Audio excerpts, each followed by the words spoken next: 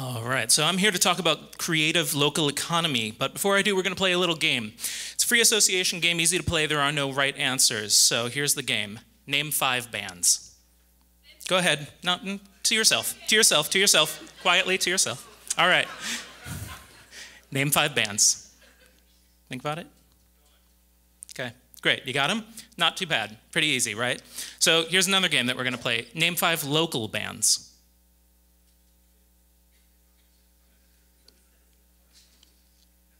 Got it? It's a little harder, right? And I'm willing to bet that, the that these artists that you named have yet to achieve the success or visibility of the first five bands that you listed. Now, you can play this game with any sort of creative profession, and the results are much the same. So, if the foremost artists that we can think of don't live in Minnesota, well, then the question exists where do they live? I'd guess that the majority of these artists, if they live in the US, live in either New York or California. Now, why is this? It's because these places have built an infrastructure around creating and exporting culture. Like it or not, local artists must compete with Hollywood movies, major record labels, international publishers, and touring Broadway shows for the local entertainment dollar. With such a wealth of options, it makes sense that the flashiest, biggest, and best promoted work is going to succeed. Therefore, most of our entertainment spending is flowing out of this community. I suggest that this is a problem. Even our major local arts organizations tend to be more interested in bringing great art to Minnesota rather than supporting the art that already exists here. This imbalance sends a clear message to local artists. If you want to make it big, then you must leave. There we go. Have you ever wondered why the Minnesota that we see in movies isn't, isn't the Minnesota that we uh, that we know. Despite a wealth of innovation and talent, oh, sorry, many artists view Minnesota as a place to cut their teeth before moving on to the big time, but this doesn't have to be the case. When the film industry began in 1912, LA was full of ranchers and orange groves. It isn't about the size of the city, it's about the quality of the creative work coming out of it. Now, too often in the media, we are depicted as a state. Instead of the creative, awesome place we know, we're depicted as this. Why is that? That's because we're not controlling the narrative. If we want the national perception of our state to reflect the hip, intelligent, savvy society that we actually live in, then we must become cultural exporters.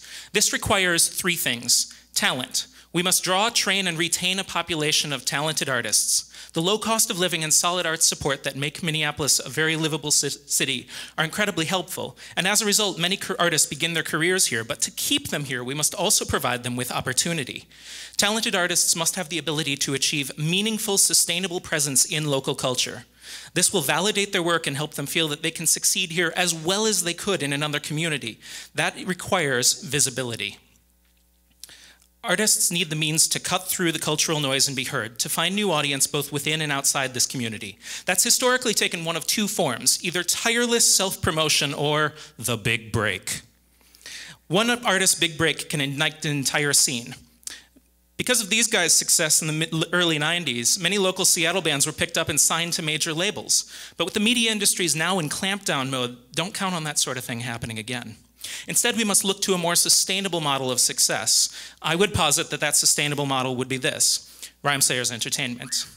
These guys have completely rebranded the local scene by using a boutique model of creative promotion. Artists with shared values working together to export their creative output to an expanding base of loyal followers.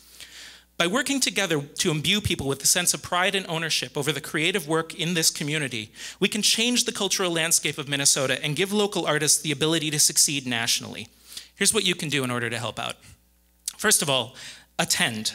Attend an event. Buy a ticket. See art. Show up. Take a risk. Find art that speaks to you. Become an active part of your community and you'll learn how to find artists you like. A strong local following will do wonders for artists of every stripe. Two, invest. Support the work of those artists you love. Find ways to strengthen your connection with their work, and you will help them survive to make more of it. Buy their stuff, support their Kickstarter, give to the arts, and above all else, help support creating creative infrastructure in this city. And finally, promote. Spread the word. Tell your friends, locally, nationally, or abroad. Artists will only stay in this community if they feel that their reach can grow, so help them build it.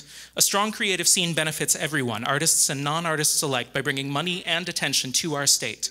By exporting our creative work and redirecting the flow of entertainment money towards our state, Minnesota will become a place that more artists can stay and celebrate, thereby improving the chances that our stories as a community will, heard, will be heard and helping the hip, creative Minnesota that we all know become a place that everybody loves. Thank you.